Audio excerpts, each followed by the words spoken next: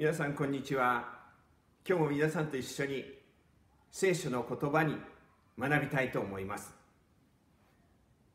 私たちはイエス・キリストを信じるときに罪が許され神の民となり毎日の生活を神と共に歩むことができるようにされます。これほど素晴らしい人生はありません。私たちの体は神様の栄光を表すものであります。行動を通し私たちは本当に神様が今の時代この時代に生きて働いておられるということを示すことができます。そこで今日は神の栄光を表す体と題しまして3つのことを学びたいと思います。私たちの体はキリストの体の一部であるということです。コリントの第一の手紙の6章の15節。あなた方は自分の体がキリストの体の一部だとは知らないのか。キリストの体の一部を娼婦の体の一部として良いのか。決してそうではない。イエス・キリストを信じるときに私たちは救われる。そして私たちの体私たちの行動を通してこの素晴らしい救い主であるイエス・キリストを表すことができる。なぜでしょうか？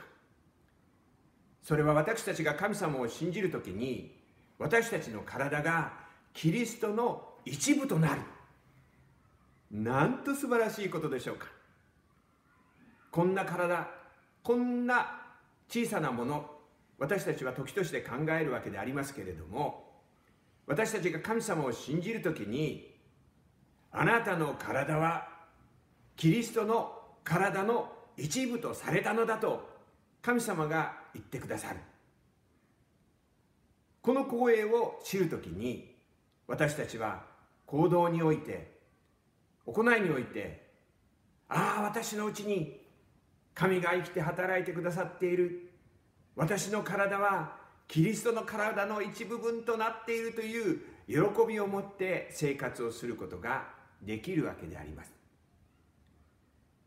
第二に私たちの体はキリストの栄光を表すもの。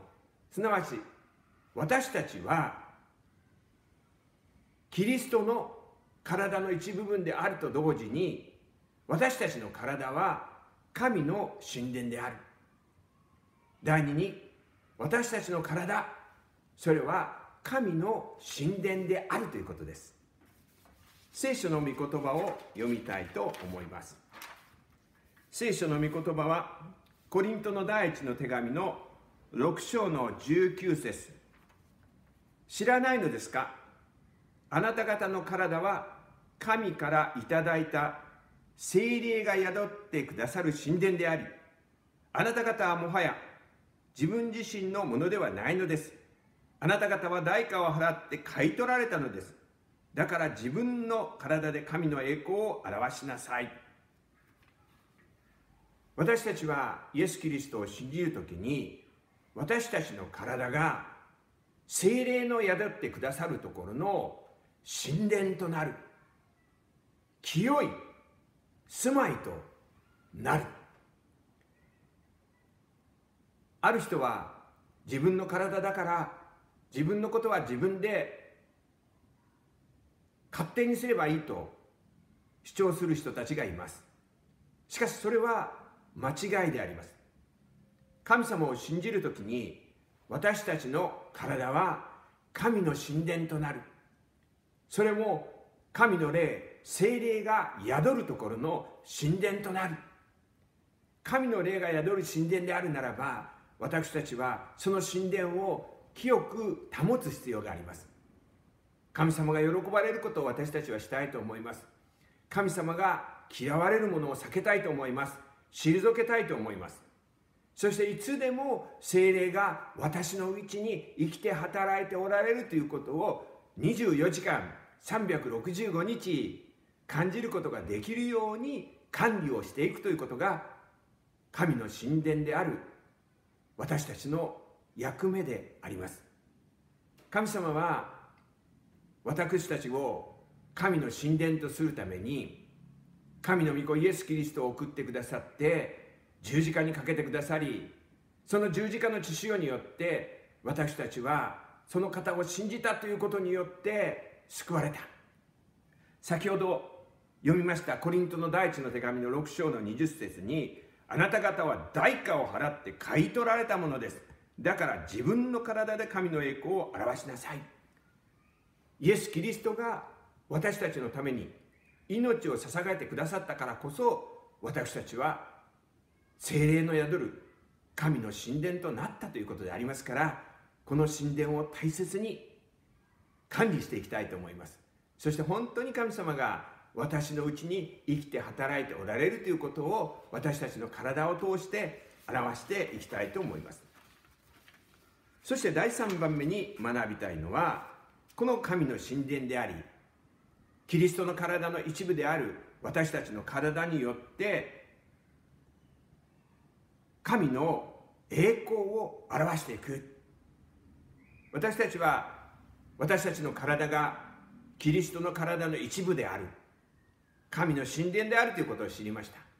そのことを知った私たちは本当に神様が私のうちに生きておられるということと生きておられるということを私たちの行動をもって表していく。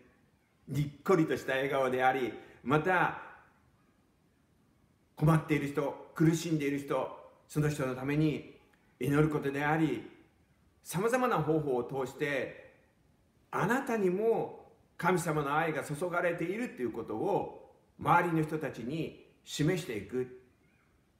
神と人とに使える歩みをすることを通して神様の栄光を私たちは表していくことができるのだということでございます。私たちは神様が今も私たちを愛していてくださる。その愛はイエス・キリストを通して表されました。だからこそ私たちは生きている限り神様の栄光を私自身の体を通して表していきたいと思います。皆さんお一人お一人の上に神様の豊かな祝福がありますように心からお祈りいたします。アメン。